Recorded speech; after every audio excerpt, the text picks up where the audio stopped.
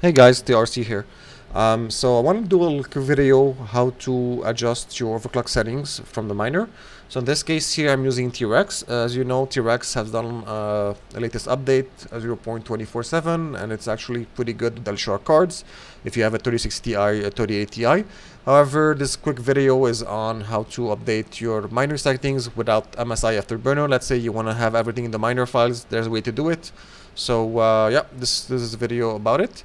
So first things first, you're gonna go ahead and download here the Windows. I mean this is a Windows tutorial, so you go ahead and download that and you extract that.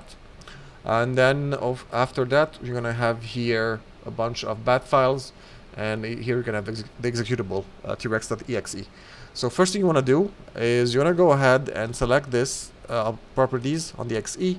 Make sure that you select the compatibility tab, and you have uh, select here run this program as administrator.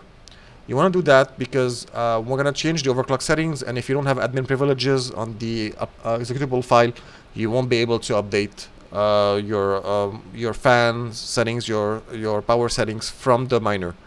So once you do that, uh, you're going to go ahead and select here. Let's say I'm going to open here in Ergo. I'm going to mine Ergo. So first things here, you're going to have, uh, you're going to keep all the settings the same here at PX. Uh, just make sure you put, let's say if you're using NiceHash, you get the Stratum here.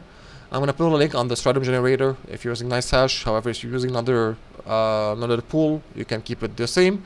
This is your wallet dot rig ID. So this is here is the wallet here, and this is a rig ID. I named my mine 3080 Ti Ergo, and you're gonna get here. The usually the file will the normal file will end here.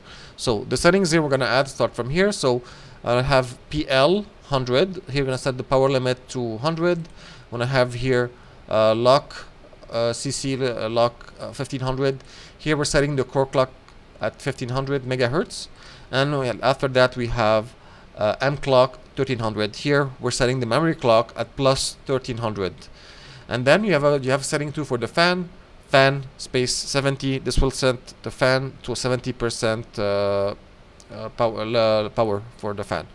Uh, after that, you're gonna save that, and you should save the bat file as is, and you should run. I'll try to have this. I'll put this on the description so that you don't have to retype it. but it's very straightforward. I feel.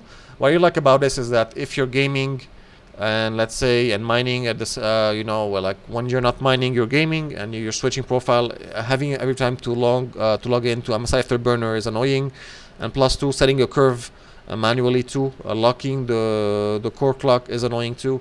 So this is uh, like a better straightforward way that you just run the file. When you're done mining you close it and you're good. You don't have to worry about anything. So I'm gonna save this. I already have it here so you can type it uh, like you said I'll leave it to you in the description so once you do that you're gonna run the file I'll have it running here and then as you can see it's mining let me show you just to show that we got the changes of the um, of the power settings so once I'm to close this, I'm to run this again. Here, this is running again. You're to notice that if you're getting an error here when you're getting the GPU settings intensities because you didn't set admin, I've got this issue before. You don't need to set admin from the bat file, but from the EXE like I mentioned earlier. So if you're getting an error here, is that you didn't give admin privileges, so don't worry about it too much. Uh, once you have that, see the GPU already set those settings that I wanted just make sure you don't put the wrong settings there so that you don't because uh, it will uh, throw an exception if you put uh, you know uh, a minus or something so just make sure it's all correct and when, you leave that running for a bit it will uh, apply those settings and uh, you're gonna start mining ergo I felt for me since I am using them all the settings and the miner is better for me because I like to game too and I don't want every time to change profiles and use afterburner all the time so as you can see here, it's uh, taking it. The values are applied. I'm, I'm starting to get 244 mega hash. Uh, this is slowly ramping up. It's gonna go even higher. Uh, but uh, yeah, as you can see here, I'm getting uh, 244. The fan is 70%. And yeah, we're not. Uh, so we're mining on the settings that I set on the miner. It's quite straightforward. Uh, just copy paste what I have in description and you should be good to go. Of course, you can change them whatever you want.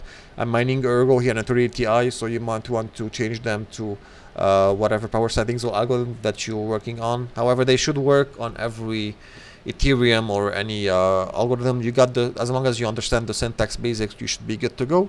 Uh, so please subscribe, leave a comment, and take care, guys.